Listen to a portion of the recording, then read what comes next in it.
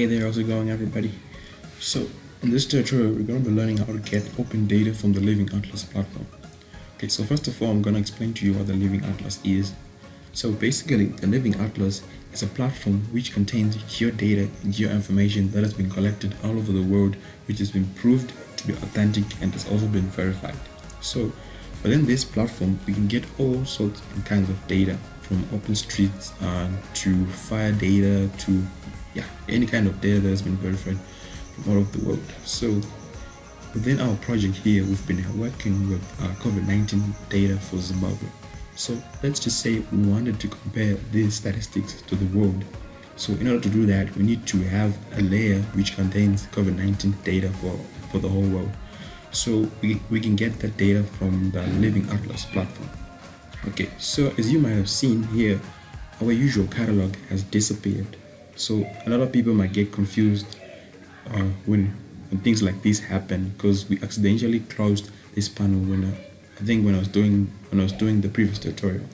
Okay, so how do we get our catalog panel back?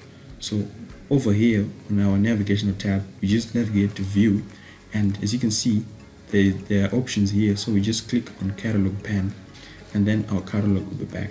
So in order for us to connect to the Living Atlas platform, we need to be logged in into your ArcGIS Pro account. So, and then within our catalog, we then navigate to Portal. So once we click on Portal, it begins to access everything which is within our ArcGIS online organization, including other online resources that we can get. So this, as you can see, this is my content within ArcGIS online organization. So in order to go to the Living Atlas platform, you need to navigate to this last uh, last icon. So you just navigate to the last icon. So as you can see, there's quite a lot of data within this um, Living Atlas platform. So some of the data that is contained includes world imagery, uh, hurricanes and cyclones, National Geographic world maps, uh, satellite data, and, and all sorts of kind of data that you can they can begin to imagine of. Okay, so now what we need to do is we need to add COVID-19 data. So what I'm going to do here, I'm just going to type in COVID. So that's because that's the keyword, and then I'm going to press enter. So it's going to start searching within the Living Atlas. Okay, so as you can see, I just typed in COVID, and it listed all the data which contains a COVID tag within it. As you can see, the data is quite a lot so what I, what I need is data which has been published by verified organizations. For example, the Johns Hopkins University, they have a repository which is uh, within the ArcGIS platform which contains all data which is actually up to date. So I think there's this one. As you can see, it gives you the information of of the owner and the date which has been last modified. So just gonna right click on this data and then I'm just gonna say add to map So as you can see, the data has been added to our map, unfortunately we removed uh, the base map in order for us to see each and every country. But I'm assuming that this dot right here represents Zimbabwe, and then this dot represents Botswana, and then this dot represents Mozambique. So now what I need to do is I need to uh, view the extent of this data in order to verify if each and every country has been represented. So what I need to do is I just need to say zoom to layer and then it's gonna zoom to, an extent which is going to allow me to view all this data easily. So I'm just gonna say uh, okay right there. Okay that didn't work. Okay yeah. It was still processing in the background so yeah. That's the data for the whole world right there. So uh, I'm just gonna add the base map in order for you guys to see if this data is corresponding to each and every country which is in the world. So I'm just going to add this topographical map.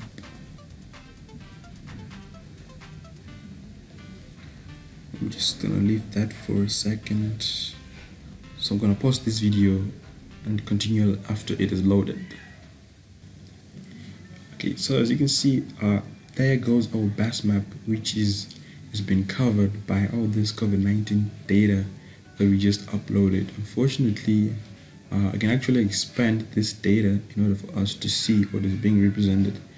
As you can see, the data already comes with the default labels that it was set with by the publisher. Okay. so I'm just gonna turn off these dots and just gonna turn off these counties again in order for us to just see the statistics for uh, for the whole world without having to see statistics for the United States and other counties.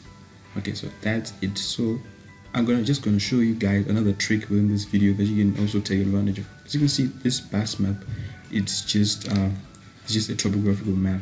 You can also add uh, a base map of your choosing to your data. So I'm just gonna turn off this base map again and I'm gonna try to select from um, from a list of, uh, of, of base maps that exist uh, online. So which map can I actually choose?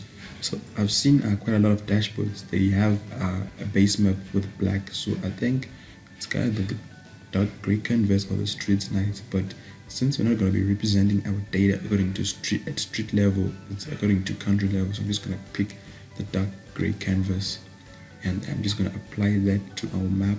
So you can see it's updating base map layer. So I'm just going to leave that for a bit okay it's still processing our base map okay yeah. There we have our base map so that's it for this tutorial. I hope you have learned how to how you can get data from the living atlas. You can also search all kinds of data and add it to a map. So please like this video and share with other people who would like to use uh, these tricks in order to implement within their projects. And i hope you also subscribe to the